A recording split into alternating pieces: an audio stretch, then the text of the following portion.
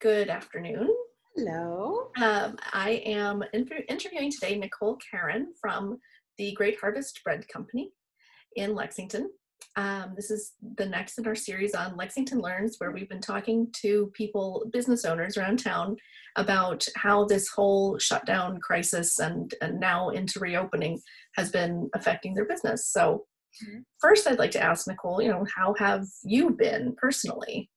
Personally, I've been good. Knock on wood. You know, um, I I mean, I haven't done anything. So, and and ninety five percent of the reason there is so that I there's never an opportunity for me to get sick and not be able to come into work. So, I've been pretty strict about it. So, I've been it's been good. It's been fine. So, But that's one of the things, I mean, as a business owner, you have to, so much is on your shoulders when it's a small business. So you Yeah. can't afford to not be there. not at all. Yeah, I get that. Yeah. How's the business been doing? So, so to give you an idea, so basically, um, a really great deal of my business is catering. So I've always done a lot of catering. So that has probably taken the biggest hit.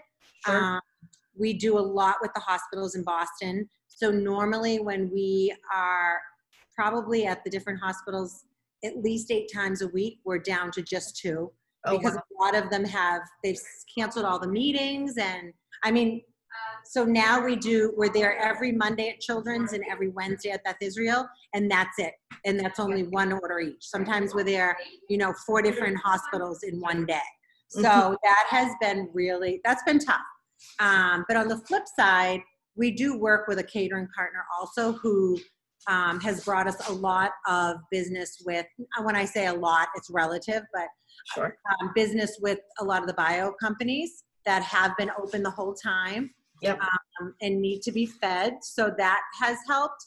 Um, bye. On the so that's been it on the catering front. Uh, and I'm I'm just I'm waiting for it to come back because, like I said, it is such a huge part of my business. Of course. Um, so, but then like for the probably the first month or so after, I'd say through where are we now in June? Through May. I know where are we? So, um, where bread sales in the past haven't always been the best. So, you know, we're kind of made up. We have the cafe, we have the bread sales, Yep. and then the catering. So the bread sales were really good, probably for about a month and a half. I mean, like, and all new customers um, because we like a lot of the customers that would come in every you know whenever we haven't seen a lot of them i'm slowly starting to see them now but Sure. um, we also introduced online ordering which Mhm. has been huge for us Okay. um, so people and people want to be able to just go online they want to order it they want to pull up we do curbside which has been great um, and takeout people can come in but people don't really want to come in so Yeah. um, but we so curbside has been wonderful for us but i mean overall i look at i mean we're down a good amount like i Of you know it, and it is what it is but um you we've been lucky that we did get the payroll protection money Okay. uh, which at this point is almost done but you know whatever it does help. So that helped. Um so yeah i mean it's just it's just a matter of you know being really good about your costs so that we're not you know bleeding money while we're not getting in as much um, Right. yeah i mean i just you just try to stay positive. Staffing wise we've been really um, I'm, I'm very very light on staffing and that's for a purpose like um, i just i want to know that the staff that is here i know what they've been doing that they're not out and about you know getting exposed to it. So and i'm, I'm reluctant to bring people back but um, we have um, one i've had a couple bakers that were out so i was doing that for a little while but one has come back um, and i think next week we'll probably bring the high school kids back Okay.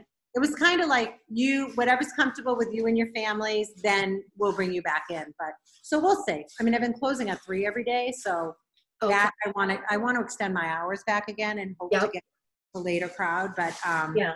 yeah so we kind of just we're just doing it we're lucky we've been open thank god I mean, was going to ask. So you you stayed open the whole time? Time Okay. Yeah. we've been so lucky like i said we've been healthy to stay open and we're food so people you know we've been able to stay open um, Right. so I'm, I'm so grateful for that which is why i'm not complaining as much about the fact that the sales are down but That'll come. I mean, in a couple it's a legitimate complaint. I mean, that that's you know, when you're running a business, you have Right. to have sales. It, it doesn't it doesn't work if you don't. So breaks for all the com- the who the people who haven't. I mean, we just heard about one of the the tailor in East Lexington that has to close, and it's just it's so sad to hear that, you know. Yeah. But like on the other thing, we've had a you know I'm lucky because in East in East Lexington we have a lot of Arlington. And Yes. Arlington has been so supportive also okay. of a Lexington business, which I think is great. Um, Right. so yeah, I just like I said, my fingers are crossed that as the companies start coming back, catering picks up a little bit. But um, yeah, so. Very So cool. one of the questions I had was, uh, you know, you said you saw a, a big influx of new customers, which is great. That's Yeah. one of the things that's always difficult for business is gaining new customers. So I you know. if that if that happened naturally, excellent. Right. Have have people wanted different things during this? Has there been like comfort food that like all of us, or- right? Like all of us. I mean, I'm like, well, I don't eat this stuff. Why am I eating it right now? Like, so, yeah, I mean, like I said, we like sweets. Have we we do a lot of sweets like muffins and scones and cookies and Okay. whoopie pies. I mean, I because of the online ordering, I have put everything that I sell on it. So Yeah. like people ordering, like we ne- we never sold a lot of sweets for whatever reason. Now people are, you know, they're definitely ordering more of that. Um, I have like, you know, we do Peet's Coffee. We do a whole the whole line of Peet's Coffee, which mm-hmm. I just heard they weren't open, but I didn't realize that. So like people are ordering things that yeah that we've never really sold a lot of. So that's I love that. You know, I love being able to introduce so that they know like there's breads in here that I'm like if you just take this cinnamon chip bread home and make toast of it, everyone's gonna love it. But it's hard to get that out there. But now mm-hmm. I mean we've I mean like I said it has slowed down the bread sales, but I mean people are buying like eight loaves at a time and I'm Oh my like gosh! where are you putting eight loaves of bread? But yeah, so Wow. definitely, definitely. What are people doing with eight loaves of bread? I don't know. Freezing it, like one of my one of my very favorite customers. I mean, she's wonderful. She comes from Belmont. She has four little kids, and I'm talking like seven down to like one. And she'll come in every probably every three weeks and get probably twelve loaves of bread. Wow. So she freezes a lot of it, and so yeah, it's hysterical. So I don't know. Great. Do your customers give you recipes of things that they've done with your bread? Um, it's funny because I usually am the one who's like, oh, you have to make this with that, or you know. And some people come in and be like, oh, I made a French toast casserole, which we actually, because Great Harvest is a franchise, Yeah. so they, they have like a recipe like that that we'll give out if they want, but not. I mean, not all the time, but people will be like, oh, we made French toast with the apple pie bread. I'm like, how did how did you do that? But all you know, great. so yeah, it's it's funny. But they do. I mean, we have like biscotti here. I put that online. People are buying it. Normally, it's like one of those you know impulse buys, but Mhm. people are buying it. So hey, Well, so that's that was that's a question I have for if you introduced online ordering for the first time and you said demand was was good for that. Yep. Were you prepared or was it was it something you had in the works or was it something you scrambled to get going? online ordering. Yeah. I it's so funny because I feel like, you know, I've been in business first, I'm in my 17th year, I think. And the franchise is always and you know, Great Harvest is a small franchise. So, you know, like I'm friends with the CEO. That's like how small it is, right? Yeah. So they're always saying, Oh, you should do this, you should do that. And I'm like, I'm like, listen, my way, I'm fine with what I'm doing, whatever, whatever. So they started pushing online ordering because they're like, listen, you have to do this. I mean, this is what people want. They want to just be able to go online. And in my head, I knew that, but I'm like, oh, I just don't feel like I'm dealing. I have, you know, I'm a single owner at this point. I had a business partner for the first, I don't even know, four or five years she was with me. So, like, you really, there's so much of juggling, right? So, I do all the financial stuff. You want to do the marketing. I'm like, Right. I'm, I don't even want to sit down and do it. But then the franchise was like, listen, we're so serious about this. We're going to give you three months free for the service and we're going to set everything up. So Oh. I'm like, all right, I'm on board. And they said it I know to that. exactly. How can I say no to free, first of all? But it's been the best thing. And then since then, like I'll like they put your basic, like your lunch menu and your bread. And now I'm like, oh, we sell, you know, soups that you can make. That's on everything's online. And so when you look at someone's order that comes in, it's like, okay, I'll have a whoopie pie, an Oreo crunch cookie, a soup, a lemonade. So it's different, you know, because Yeah. when, when you order something online, you're like, oh, this looks good. I'll try this. Yeah. So, um, so I, I definitely, I went kicking and screaming, but I'm like, so, cause it's nice too, because you get in like, and then once a day, the other thing that we've been doing, which I'm sure you've talked to many people that have had to do different things. right. So Yes. We always do deliveries for catering. That's, I have delivery people that do it, but we've started once a week to do just deliveries. So like tomorrow, I put it out there on the Facebook page. I'm like, listen, tomorrow's the day. Go online. I push them online because it's just easier. Go Mhm. online, place your order. We'll deliver it wherever. Mhm. So like we've been doing maybe like anywhere from like 10 to 15 deliveries on that day, Okay. which has been great yeah. people like I had a cus one of my customers will come in on a Tuesday and be like, okay, I'm getting stuff now, but I'm ordering stuff for delivery tomorrow. You know, and normally you see them maybe once a, every couple weeks. So um, yeah, so it's it's been great. And now that I know how to use the program, it's easier. But I'm I am very like I'm not like I'm not as technology savvy as say my 18 year old nephew who I'll be like, oh, will you do this for me? And Yeah. he'll have it set up. So I kind of push back on things, but it's been the best. But everyone, I mean, if you notice, everyone's been doing online order. But that's great. I mean, it's, it's great that you took this opportunity to, Yeah. to make that leap with the business because Yeah, it I mean, was a this leap of thing has been horrible, this virus, but there's definitely things, good things that have come out of it. I, and I know that that's really hard to say, but um, th- even like just in general, you know, pers- like one of my girl, my college girls who wouldn't be here with me is here because her thing got canceled. You know, for Right. now, actually. Right. But um, you know, it's just it's just the little things, kind of. But yeah, Well, some of it is just about perspective. I mean, uh, certainly somebody who has been ill or a family member has been ill or they've lost someone, you, there's no way to have a great perspective on that. But when it comes to adjusting your business, hmm I think the the businesses I've been talking to have, who have been most successful are those who have looked for the opportunities hmm in y- you know if you're forced to change how you do business mm-hmm. then you come up with innovation right. and you know now you have a new element to your business that that wouldn't have been there before right. and you know it's yes it's a shame that it was spurred by something that has had you know yeah some terrible consequences Right. but at least there there's learning i mean that's why i started this series right it's lexington learns because the the point is what what are we learning from this what are especially you know in business what can we take from this experience that we can go forward with next Right. Like I look at the curbside, I'm like, I don't think curbside is ever going to go away because people. I, first of all, it's great. I'm I, I'm looking down the road and I'm thinking, okay, like the winter, people aren't going to want to get out of their car. So okay, pull up the curb. I mean, granted, like the town has been very lenient with us being able to put signs closer to the streets and sure hopefully that's something that they'll continue to work with us for a while because it's super important and i know like to me um, it shouldn't be an issue that like i can i put a sign in that little area right there out front. Right. You know what i mean like but they have and if they look at how good it is for the business i mean curbside i feel like it won't go away Right. you know like a- lot of older people don't want to come in the stores and um, so it's little things like that yeah that really helped. And if and if businesses don't do it, they're not getting the business. So you you have no choice but to adapt.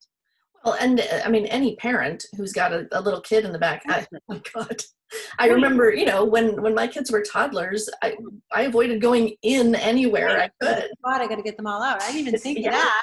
I didn't even Yeah. think of that. Like the woman I was telling you about from Belmont, I just tell her because she's always got a car full of kids. I just tell her pull in the driveway and stay there and lock the car, and so she doesn't have to unload four kids. You know. exactly You're Yeah. right. I mean, it, it, we, it's a lot, it's been a big learning experience for, you know, you coast along in your business and you don't feel like anything will really put a wrench in it. And, and this has just, I mean, it has wrenched everybody. So, yeah. had you had plans for you know because you know one of the things that that like the the the government is saying now is oh everybody should have a crisis plan and did Oh, you have something like that in place um, not, not for this particular. I can't say I have. I mean, I, we were quick to put it into place because, you know, the main thing is I think it's harder for me. I can adjust, I can adjust to say, okay, here's what has to be done every day. We have to sanitize every day. Like I closed off the bathroom so that we didn't have people like Right. you know and the good thing is well with the ac on it's a little different but we've literally for most of the part have kept the front door open. They walk in they go up to the front. They, i have the credit card thing right there so that they don't even have to touch we don't touch anything. Right. and like that's it but it's you know it's hard to translate that to this is part of the reason why i'm like oh the high school kids are coming in. I have to show them this whole process that we go through. Like we have to be aware that even if it's busy that to get the sanitizer out and be sanitizing. So i guess like you don't i don't think i ever would have thought a virus would be something that you, you'd have a contingency plan for. Right. um, we all have contingency plans for like here's what happens if the electricity goes out. Because i've had that before like you know in that october snowstorm i had to take everything from my freezers and bring it to one of my vendors. Like you have that but a virus i never Yeah. never would have thought yeah. not at all No, I, I don't think I never have to think about this again. Like, hopefully this won't, like masks, I mean, we've got, you know, it's like crazy, crazy. Right. Like, So what what will customers notice as you reopen more fully? Do you have outdoor seating? we have outdoor seating and so right now we set up the patio. Normally we have one, two, three, we normally have five tables. And right now there's still the five. We pulled one of them out to put it kind of on the side of the building so that they can sit over there. so that everyone is six feet apart. So that's Yeah. that's big. Um, inside, we st- we do have inside seating, but it's not available right now. Yeah. It won't Be available. Um, I mean, it's pretty much like it. It is like they don't like we didn't go and get like plexiglass things, but we put like our tables that um, our tables that we eat on like in front of the counter, so you're not so you're six feet Oh, away okay. Yeah. from us. Yeah. Uh, yeah, I mean, it's pretty much that's it's very like I said. We only I try to only have two of us here at a time so that we can be, you know, I mean, we have masks on, but that we can be a, away from each other. Right. Uh, if we have a big catering day, I'll bring someone in, but you know, I'll get rid of that person as quick as I can. Um, but it's been, I mean, everyone's been good. They know what they have to do. Um, so yeah, I mean, it's still us. So hopefully people will come in and help. you know. So as you're looking toward the future, what do you see? Are are you hopeful? Are you excited? Are you concerned? What do you see, you know, six months Uh, from now? I know it is hard. Like I will definitely be more concerned if catering does not pick up. Mhm. Because like I, I always say, like I, I wouldn't be in business without catering because Right. it's so much of our business and and the walk-in business is just not enough. Um, so yeah, I mean I it's funny because I can't believe it's been three months already, but I definitely if like six months down the road, if some of these companies aren't opening a little bit more, I mean I have a little bit more hope because the hospitals will open and I, you know, the residents will come back. They'll start having meetings and feeding them, and so that makes me a little hopeful. But like, I look at some of these businesses that I did big catering jobs for, and I don't know when that'll be back because a lot of these companies aren't going back for, you know, to the new year or, you know, my niece works at Fidelity. She's not going back till like next April.